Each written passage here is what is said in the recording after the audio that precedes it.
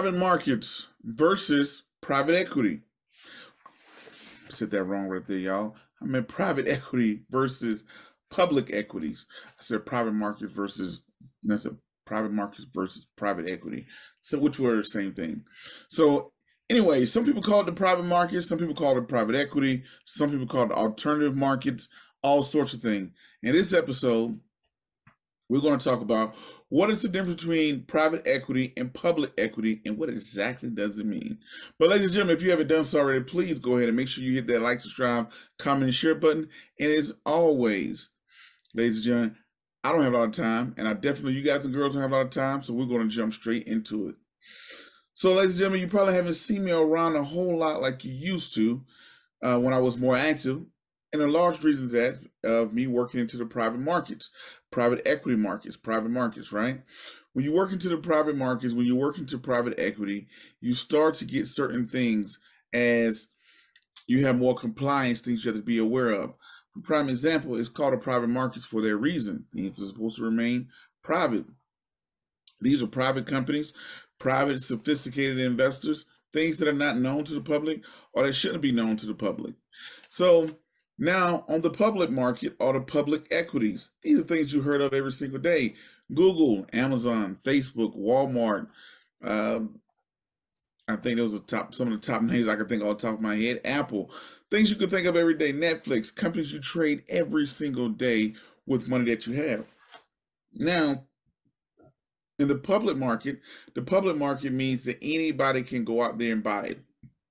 In the private market, it means that only certain people can buy it. But that's what today's episode is going to be about. What's the difference between the public equity market and the private equity market? The first thing is how money is raised.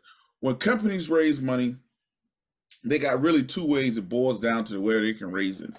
Either they're going to raise debt or they can raise equity. And when you say I'm going to raise debt, debt is when you are uh, debt is when you go out and go get a loan. For prime example, you may go get a loan, or you may issue a bond. Right? You may say, "Hey, um, hey, bank, let me borrow 1.5 million dollars so I can go purchase a particular company." that 1.5 billion that 1.5 million dollars that could be money that you can utilize to turn around and go and purchase the company now the person that or the company that loaned you that 1.5 million dollars they may loan it to you at a 10% interest rate. So in return they want their 1.5 with 10% interest rate back. They don't care if the company goes under over company does well doesn't do well they just want their 1.5 with their interest. Now, on a good, on the other side, you can issue a bond. You can say, hey, um, I'm issuing bonds in my company so I can raise capital to go out and buy company XYZ. Company XYZ may be, um, let's say you going to purchase a McDonald's or something like that, or whatever you're going to purchase. So you're going to say, hey, I'm going to give you, I'm going to issue out bonds at uh I'm going to put a coupon on it of 5% and that 5% I'm going to turn around and I'm going to uh, purchase this company. So you as a bond, if you purchase a bond from me, you're going to give me $100 a day. I'm going to give you your $100 back plus 5% at maturity and let's say 5 year, 5 year bond or whatever. That's another way you're raising debt. Now, on the other side of that, we say you can do something called raising equity. What does raising equity mean? And how is that different from raising debt? Raising equity is very risky for the investor on the investor side. Now let's take that same scenario. Instead of going to the bank saying, let me borrow $1.5 million, or instead of issuing $1.5 million of debt, I'm going to say, hey guys, I'm going to write up an investment proposal and I'm going to say, hey, you want to make an investment inside of my company? I'm going to sell and issue shares in my company. Now, once I issue these shares, you can take these shares and you can go out and um, I'm going to issue these shares and now you own a portion of my company. Now my company is going to go out and we're going to purchase a McDonald's, whatever your strategy is. And if the value of this share goes up, you can in turn sell it to someone else, sell it back to me, things like that, right? Same thing you see in the public markets. When you're looking at companies on the public market, when you go in and you buy that uh, Uber stock, Netflix stock, Amazon stock, whatever stock you go out and buy. These are things that are coming from the public market. Companies, this is how they raise money. They go out, they issue stock, you go out, you buy the stock. They in turn take the money and build research and development, build a new logo, whatever they're going to do to make company. Company does well, value of the company rises, you as the shareholder. The value of your stock rises. Company doesn't do so well, the value of your stock declines. Notice the private debt people, they had no equity in the company, nor did they care what was going on with the company. I mean, they low key care. They just want to know you're doing good enough to be able to pay me back with interest. That's all the debt raiser were doing. Versus on the private equity side, when someone has equity, they have a position, they're in the company. They're taking a larger risk because a company can go bankrupt at any time. They're hoping that you figure this thing out and become the next big Fortune 500 company. Now, next thing is liquidity. When you look at liquidity of a company, this is the difference between private equity and private debt. It's the liquidity market. Prince, what do you mean by liquidity? Liquidity is your ability to get your money out of an investment. For prime example, you can buy Apple at five o'clock. You can buy 100 shares of Apple at nine o'clock, well, 9.30 in the morning on the East Coast. And at 9.40, sell them, right? A very liquid market. Same thing with Amazon, Facebook, most publicly traded company that are large blue chip, mid cap, and even majority of small caps. Is once you start to get down to those penny stocks, is where the liquidity and the volume starts to really kind of drop a little bit. So liquidity, how fast can I get out of this investment? Prime example. Let's go back to that scenario I gave you before. I told you, hey, I'm going to give you, I'm going to issue debt, right? And when I issue this debt, I'm going to raise money in turn to go buy, be able to buy this McDonald's, right? Now, when I go and do this, this in return, when I raise this money to go purchase this McDonald's, let's say if you decide six months later, Prince, you know what? I, I know you gave me a five year um, bond. I want out of this investment. How easy it is for you to get out. For prime example, for you to walk into your checking account, you to put money in, take money out, buy something with it, very liquid, goes through very fast. Versus if you have money into a CD, CD, you got to go through a couple steps to get the money you get into private equity, you got to do it to a good bit of steps. You have to go find somebody else. Hopefully, in the secondary market, they may want to purchase your stocks, right? This is what you're going to do, ladies and gentlemen. These are issues you're going to have when you are building things out, right? When you're looking at liquidity. In the public equity markets, public markets, liquidity is pretty fresh and easy. You can go buy Walmart, sell Walmart. You don't have to go find a buyer. It's pretty easy to, to buy something and get in and out of it pretty easy. Versus on the public on the private equity markets, it's a little bit tougher. If you go out here and invest into a private company, you go out here uh, a sandwich shop, a private sandwich shop that was starting up. You purchase shares in it you got these shares now you want to sell it so you can go buy i don't know a lamborghini or whatever you have to go find somebody in that market to be able to sell those things too right? That's the difference between the private market and the public market. Liquidity that's another thing.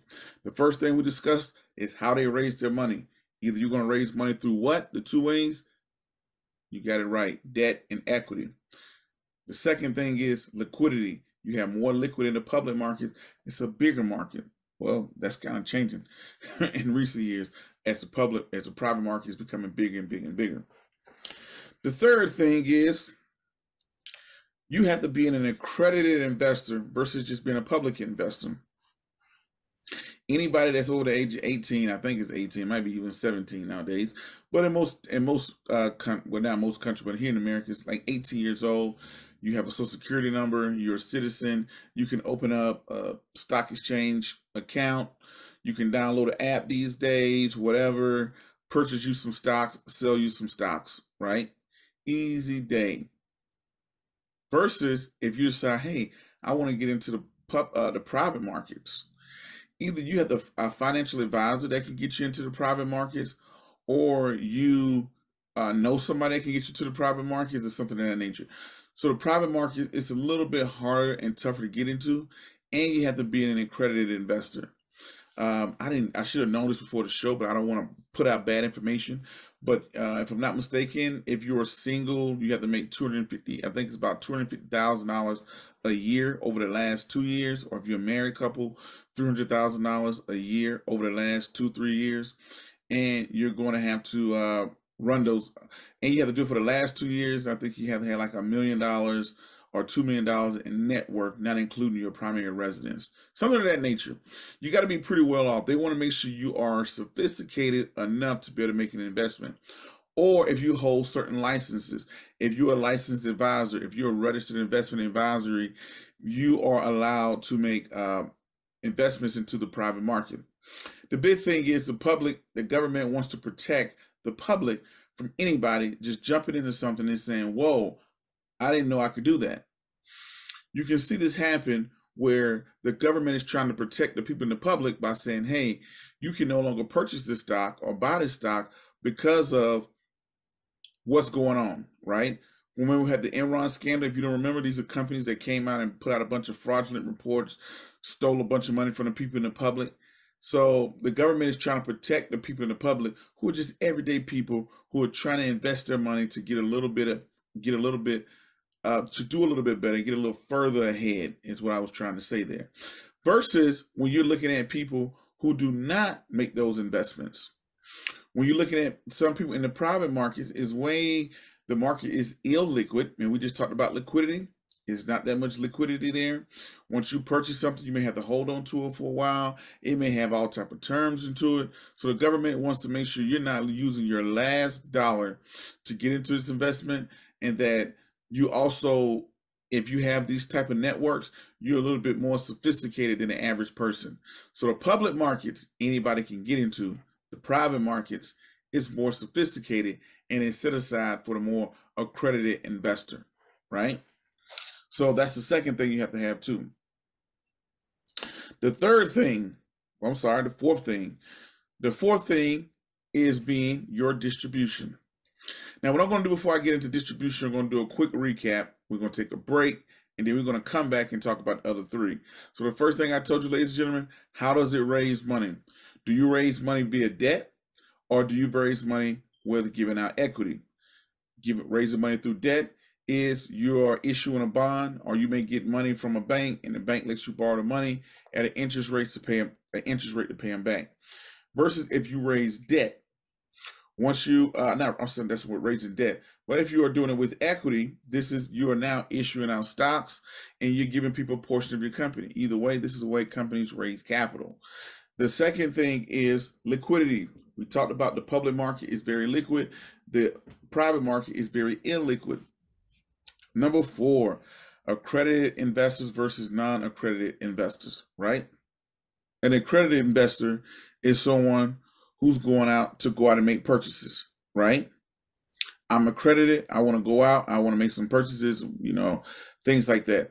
Sophisticated investors, people who are not accredited, those are ones who participate in the public market. The public market is open to everybody. The private market is only open to accredited investors. Before a company becomes public, it's usually 90% of the time private. Private meaning it's just that. It's just a regular company that's decided like uh you go out, you decide to start you an ice cream shop, you are a private company. You decide to raise debt, you decide to issue stocks, issue bonds, take out loans, you're a private company, right? One day when you decide to IPO, which is an initial public offering, you know, when people go to New York Stock Exchange and they ring the bell and go ding, ding, ding, and everybody said, oh, everybody's roaring about this new company that's coming on the market. That is the public market. That's when you make your initial public offering. Your initial public offering, my friend, is when a company now is uh, available to the public. Anybody can go out and buy a publicly traded company. A publicly traded company could be something like an Amazon, a Facebook, a Google, a Apple. Those are publicly traded companies, the McDonald's, household names that are publicly traded. I'm trying to think of a company like Chick-fil-A. Chick-fil-A is not a publicly traded company, to the best of my knowledge, unless it's owned by a group and that group owns Chick-fil-A or something like that. But Chick-fil-A itself is not a publicly traded company. Subway, who heard of Subway sandwiches? I've never seen Subway on a publicly traded market, right? So those are privately held companies. That's a big difference. A big difference. So guess what? You can make investments into the public market, which is open to everybody, but you can't. Not everybody can make investments into the private market. Now we discussed earlier about how companies, number one, how money is raised in the private market and the public market. Number two, we talked about liquidity. And number three, we talked about being accredited, right? Number four, how do you get paid? In the private market, you're paid by distributions, right? You go in, you commit your capital. You go in, a company may come to you and say, hey, we're raising a $100 million. And once we get this $100 million, we're going to go out and we're going to go buy all of the liquor stores and marijuana stores in Colorado. That might be their strategy. All the small mom and pop marijuana stores in Colorado, we're going to purchase them all. And once we purchase them all, we're going to turn around and sell them all. Right? I mean, they're going to turn around and bring them together, and then they're going to sell them and do whatever they want to do with them. Right? So they may go out to sophisticated investors. They may hit up family offices. They may discuss family offices and say, "Hey." Um, they may go to family offices and say, um, the family offices could be something like someone like myself, I'm a registered investment advisor. They could go to them and say, hey, you know what? We want to raise money from you because we, we need to raise this $100 million to go out and make these purchases. So when you are as an investor, you say, hey, you commit capital. You are a limited partner. You commit capital of $10 million, let's say. I'm going to give $10 million to this $100 million fund. You write a check for not, I'm sorry, you don't write a check, you sign an obligation. I'm going to give you $10 million, right? So now, whenever that fund needs money, it's going to call you. They're going to say, hey, Prince, we're getting ready to go buy all these marijuana shops. We need $3 million from you. You're like, okay, no problem, because I committed $10 million to you. You write a check for $3 million. You take that $3 million, you in return go and do what? Right? You take that $3 million, in return, you go and purchase companies, right? That fund goes out and purchase companies. Once it gets done with the money, it distributes the money back to you, right? Then it may call and ask you for more money. It may do things like that. So I don't want to go too deep into it, but you're paid by distribution versus stocks. How do you make money from a stock? Once you purchase that stock, you hope the value of the stock continues to grow and goes higher. I purchased it for $300. Hopefully it goes on up to $400, $500, may pay me a little dividend. Two totally different differences between the public market and the private market itself. Number five, a big reason why I know is a lot of companies stay public, I mean private, I'm sorry, because you know companies start out private. You just minding your business before they go public. It's a big R word, regulations. You got to be regulated. You go in, you may have regulations to say, hey, when you are a publicly traded company and you're taking money from the public, you have to have regulations that your paperwork you have to turn in every day.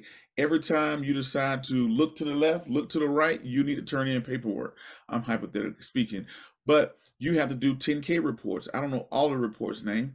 10K reports, which are annual reports, 10Q reports, what are quarterly reports. If your board decides to issue a dividend, you have to issue our report. Uh, you know, if your board decides to fire someone, someone leaves the company, someone an insider buys more shares or anything like that, you have to do so much reporting. You your uh, companies are going over you as a fine tooth comb.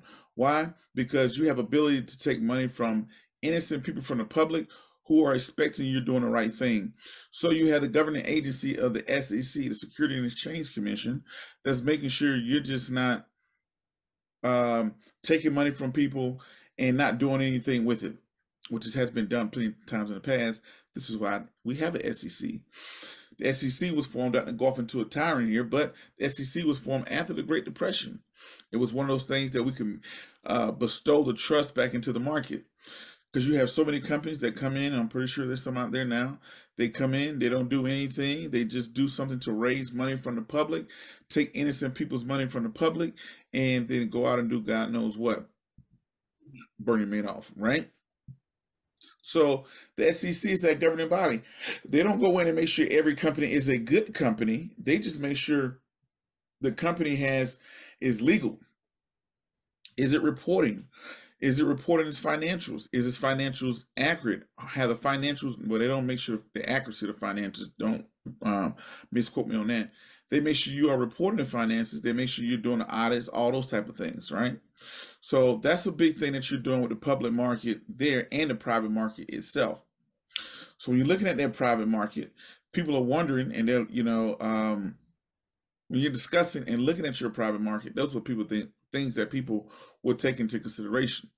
It's being registered by the SEC, all the regulations you got to do. Versus in a private market, it's a little bit more private. Only sophisticated investors can be with you, but you are regulated by the 1940s Investment Advisors Act. So you still have regulations you have to go by. It's pretty heavily regulated, but it's nowhere near like the public market, right? So regulations are a little bit more tougher in the public market because it's seen as you're taking you you could be potentially potentially taking money from uh, investors. Number six, public markets. When you purchase Netflix, I don't know what's going to happen with Netflix one day. I don't know. I don't know what's going to happen with Netflix one day. What's going to happen with Netflix someday? Um, one day it'll grow up and become a big company, or it may not. I don't know what's going to happen. There's really no exit strategy in the public market unless you are buying a company, uh, making investments, and you're probably going to sell it one day as an investor. But it's not really big exit strategies. In the private market, the exit strategy is annotated at the beginning. They're saying, hey, we're going to go purchase this McDonald's. This McDonald's is going to cost us a million dollars and it's generating $5 million in cash flow. We're going to take that $5 million in cash flow. We're going to grow that cash flow from 5 million, from, I mean, sorry, $500,000. We're going to grow it from $500,000 all the way up to $800,000. And once we grow up to $800,000, we are in return going to do what? Take it from $800,000 and we in return are going to do what, ladies and gentlemen? Take the money from $800,000 and we're going to sell this company. We're going to grow it from 10 employees to 25 employees, and we're going to sell this company. So, in the private world, people go with the exit in the beginning in their mindset. They're like, we're going to take this McDonald's and we're going to buy three more McDonald's and we're going to close one of them and we're going to do X, Y, Z. And that's how we're going to make things happen, right? So, that's what companies look at as they go forward, right? Companies look at as they go forward, they look at it and say, hey, we can move at any time, right? And what I mean by moving at any time is um, when we're going to take this company and we're going to build this company, and once this company grows, we're going to sell it. Private markets, that's what they do. They come in with the exit strategy in mind in the beginning. So let's do a quick wrap up before we get out of here. Uh, we talked about it. The difference between the private markets, companies start off private, they grow, Facebook starts off in a Harvard room, a dorm room. The idea grows. They get investors behind it. They they acquire debt. They use cash. Whatever they do, they raise the company. Now it's this big social. It's this big website that everybody's using. Has a million followers and users on the page. In return, now you decide you want to go public. Now you become to the public market. Now you're raising money from the public. You're more liquid people can get in and out of your Facebook stock with ease. Back when Facebook was working in somebody's Harvard uh, room, nobody probably knew it. Nobody knew how to get money behind it. People probably weren't sold. Number three, you got to look at the way that it um, anybody could invest into Facebook today, but back when it was in that Harvard bedroom, it was hard to invest into. Number four, you're talking about how you make your money. You got to get distributions when you're in the private market. In the public market, you're hoping that stock goes up over time and pays you a nice dividend. Number five, the public market is more heavily regulated because it has investors that are not as sophisticated that they are in the private private market. Number six, exit strategies. Private equity moves in with the exit strategy in mind in the beginning versus the um, in the in the public markets, you look at Facebook, people just purchase it, they hold on to it. Hopefully, it does great things into the future. Ladies and gentlemen, hopefully, you got a good introduction into the private markets and public markets. Um, I've been in the private markets myself to give you a little history for about the last year. That's why I haven't been making a lot of content able to come to you guys and girls like I usually would like to and want to do because I've signed a lot of NDAs, non disclosure agreements. If you're not familiar with NDAs, things I can't speak about and talk about once while I'm doing my internship. But once my internships in the private markets are said and done, then I can speak more about uh, things into the public. All right. Well, ladies and gentlemen, that's going to be my time. As always, y'all know my name is Prince Dykes. I'm the Prince of Investment. And to the next video, podcast, cartoon, or whatever else crazy you see me doing around the globe, make sure you go check out my book series, Made Exactly. They make perfect gifts, birthday gifts. They make good birthday gifts. They make good Christmas gifts for your kids, nieces, nephews, grandchildren, your, your next door neighbor kids, the kids at your local church, the kids at the YMCA and the Boys and Girls Club. Teaching kids about investing, credit, insurance. Wesley learns to invest. Wesley learns about credit and Wesley learns about insurance. Until next video podcast, cartoon, whatever else you see me doing around the globe, peace, be safe, I'm out, and thank you.